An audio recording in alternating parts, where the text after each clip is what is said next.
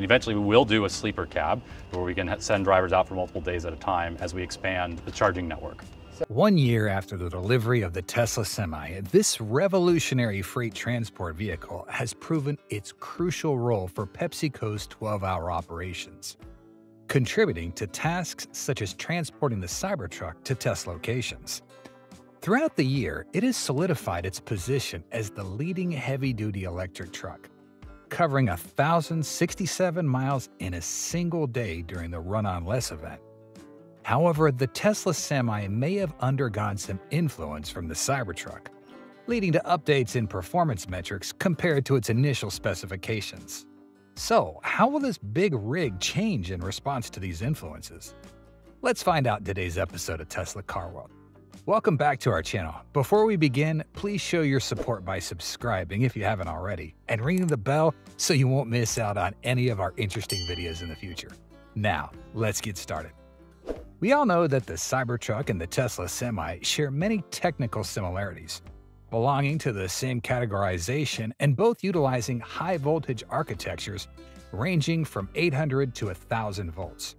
Some speculations even suggest the Tesla Semi has started experimenting with the 4680 battery technology produced at the Nevada Gigafactory, similar to the Cybertruck, among other shared features.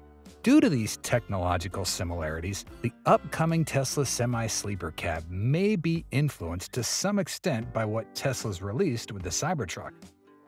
Why will Tesla Semi probably update a new range for the upcoming version? No different from Cybertruck, Tesla Semi was also launched at the end of 2017 with two unique variants, quad-independent motor and tri-motor. As far as we can see, the tri-independent motor will offer a range of 300 miles on a single charge, and the quad motor will offer a more impressive 500 miles. Please note that, according to Elon Musk, these ranges are achieved when the Tesla Semi is fully loaded with a GVW, gross vehicle weight, of 80,000 pounds and operates on the highway. This means that in an unloaded state, the Tesla Semi could surpass these range figures, potentially reaching up to 400 miles and 600 miles for the respective versions. Meanwhile, the Cybertruck's range after the delivery event is probably something enough to sway customers, as it brings many different emotions. The dual motor increased to 340 miles compared to the 300 mile range offered announced before. But Cyberbeast is the opposite. This variant initially had many expectations when Tesla announced a range of up to 500 miles. But in the end, 320 miles was the final specification that customers received. So, is it possible that the upcoming Tesla semi-sleeper cab version will have a range adjustment? The answer may be yes or it may be no, because to answer this question, we need to consider many factors such as the role of the two vehicles, battery technology, and finally, the challenges created for the manufacturer. First, let's talk about the reasons Tesla might adjust the range down for the Tesla Semi-Sleeper Cab version. As far as we know, the addition of the bed system meant that the rig had to revamp the entire cabin area to arrange it in the most efficient way possible. It is common practice to extend the size of the cabin area to the rear to keep the cockpit in the most comfortable space. It's nice that we'll have a truck with a more comprehensive interior, but we also have to accept that adding the bed and lengthening the cabin will certainly increase the weight of the Tesla Semi. We wouldn't be surprised if it were claimed to weigh around 29 to 30,000 pounds which would mean less payload capacity if combined with a very heavy battery pack. So reducing battery pack size is something Tesla can do. The average Tesla semi-day cab weighs about 26,150 pounds. The Fontaine Traverse HT weighs 17,700 pounds, and the remaining cargo boxes or loads are allowed to weigh up to 37,000 pounds, all adding up to about 80,000 pounds a total load most efficient weight even if it is allowed to weigh 2,000 pounds or more than the diesel truck. In particular, the Tesla Semi 500 miles variant battery has a capacity of about 900 kilowatt hours and weighs about 10,000 pounds. We've analyzed the weight of Tesla's battery in previous episodes. Currently, the type of battery used for Tesla Semi at this time and in the future has not been mentioned at all. Everything is still just rumors about battery technologies such as the 4680, 2170, LFP, or even pouch battery cells.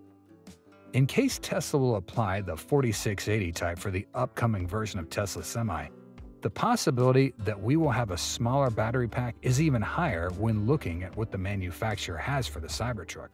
According to Hagerty, a Cybertruck with a 123 kilowatt hour battery pack needs 1,366 cells, and if a 900 kilowatt hour Tesla Semi does the same, that's at least nearly 10,000 cells for a Tesla Semi. It's too much and too heavy for Tesla to apply, so reducing the battery capacity to 800 or 750 kilowatt hours is something that will likely happen in the future. If this happens, we could very well end up with a semi-sleeper cab with around 400 miles or 350 miles of range that comes with a rather expensive range extender option package, something Tesla also does the same to Cybertruck. However, let's talk about the more optimistic possibility that Tesla will not reduce the range of the rig in the next version, given how important range is to Tesla Semi and Cybertruck customers. The truth is that Cybertruck's range is quite important in influencing the travel experience. But considering the nature of a specialized off-road vehicle, range is definitely not the top factor that customers care about, because they care more about performance. Meanwhile, the Tesla Semi is the opposite. This electric truck originates from the mission of serving delivery work, right from the invention idea when J.B. Straubel said that Tesla used diesel trucks to transport transmission units and electric car batteries from Giga Nevada to Fremont were pointless, so Straubel, Jerome, and Franz built the Tesla Semi to serve the sole purpose of being the company's transport vehicle with virtually zero emissions. If it is specialized, for transportation, range, and load are the top factors for customers to consider. On the other hand, Sleeper Cab serves the purpose of long-distance cargo transportation and allows drivers to make overnight deliveries. So the range is always a priority factor, no less than load capacity. What could happen to the big rig cost when looking at the Cybertruck? Next, the price of the Tesla Semi in the upcoming version will be 90% increase to over $250,000 when we look at the nearly 60% price of increase of the Cybertruck compared to what was announced in 2019. The often rumored price of $150,000 and $180,000 has been discontinued for this rig for a long time. Considering the economic fluctuations in the US and the world, at least it has reached the $200,000 mark in 2021 and is currently at around $250,000. This was confirmed when at a PepsiCo factory press conference in April this year, it was learned that the majority of the initial costs of most PepsiCo trucks are covered by state and federal grants.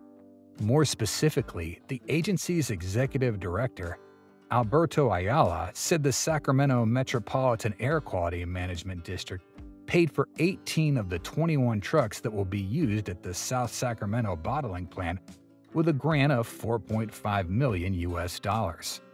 This is an implication of the price of the big rig, and it is twice the cost of a diesel truck. But compared to fuel cost savings, the Tesla Semi can save $200,000 in the first three years. Keep that in mind. The price increase is also a way for Tesla to offset the costs of building the high-capacity 750 kilowatt megacharger stations. For supercharger stations, the costs are relatively low, and Tesla is rapidly deploying them for Cybertruck, with seven stations being set up in just two days. Supercharger installations, on the other hand, are different. Each installation typically costs around $6 million and involves a much more complex process than regular charging stations. Returning to the expected price increase for the Tesla Semi, it wouldn't be surprising if it hits $280,000 for the upcoming version. Currently, in the electric truck market, almost none are priced below $300,000, with notable examples like the Freightliner eCascadia, Nikola Tre, and BYD 8TT. It's important to understand that developing an electric truck requires a significant amount of time and money, involving manufacturing technologies entirely different from other models, with complexity at every stage. Therefore, even if the price increases, the Tesla Semi will still be considerably more affordable than any other electric truck on the market, boasting unmatched specifications. Moreover, commercial companies often benefit from financial support and exclusive policies, making the cost sometimes less critical for them. And what is the coefficient of drag on something like Like my Tesla, I believe, is what, 0.25? Is no, it's it? less than that. Point, oh, 0.20 0.22, 0.22, okay. Yeah. Tesla continues to quietly adjust the Tesla Semi. They just don't publicize it. We've learned about this through the revelation that the drag coefficient of the Tesla Semi has silently been reduced to 0.22 instead of the initially announced 0.36, as disclosed by Tesla engineers during a conversation with Jay Leno. There are likely other parameters that have been adjusted, but the manufacturer has not disclosed them at the moment to maintain focus on promoting the Cybertruck. Now, let's discuss some rumors related to the truck. The Tesla Semi has been subject to many intriguing pieces of information, and even we are unsure whether they're true or just oral jokes. How interesting is the rumored Tesla Semi? First, there's information that a team of Tesla engineers is on call 24 7 at PepsiCo, ready to work on and address any issues with Tesla semis, and no one at PepsiCo is allowed to repair the semis except for them. We believe this is accurate because the Tesla Semi is the company's only electric truck, along with a fleet of other diesel trucks, so repairing this vehicle is also different. And Tesla engineers understand it better than anyone else. Having a dedicated team of Tesla engineers at PepsiCo could be an advantage even when this drilling rig rarely requires maintenance. This helps ensure that technical issues can be addressed immediately Keeping the Tesla engineering team on site can optimize the company's workflow and logistics, providing flexibility and maximizing efficiency in the transportation of goods. This enhances the performance and reliability of the Tesla Semi within PepsiCo's fleet, ultimately contributing to increased efficiency and reliability. Another interesting rumor, though not entirely implausible, is the speculation that the Tesla Semi is said to be using pouch batteries manufactured in Nevada. Initially, this sounds quite unusual, as all batteries produced by Panasonic in Nevada are cylindrical 4680 cells, and Elon Musk has not previously revealed any pouch battery packs. However, a hypothesis suggests that Tesla might have imported these pouch cells from China and assembled them in Nevada. Pouch cells have the potential to be well suited for the Tesla Semi and after the addition of sleeper berths because they are lighter than cylindrical cells, they cost less and are flexible in shape, allowing for customization in size and form in various scenarios. However, in terms of durability, they certainly cannot match the robustness of cylindrical cells. Finally, there's speculation about Tesla potentially discontinuing the production of the Tesla Semi soon due to its lack of profitability compared to other models. Specifically, some individuals suggest that Tesla initially produced this drilling rig because Elon needed a pump for Tesla stock in 2017. Coincidentally, Tesla was on the brink due to challenges with the Model 3 launch from 2017 to 2019, a fact acknowledged by Elon Musk himself. However, we believe that this is a rumor and a nonsensical joke from those who harbor resentment or seek to just taunt Tesla. First, the Tesla Semi has been part of Elon's long term developmental strategy long before its official debut back in 2017. In November 2017, when the Tesla Semi was introduced, Tesla's stock rose by 2.5%, but in the following months, Tesla's stock gradually declined. By the end of 2017, Tesla's stock had decreased by 10% compared to the level when the Tesla Semi was introduced.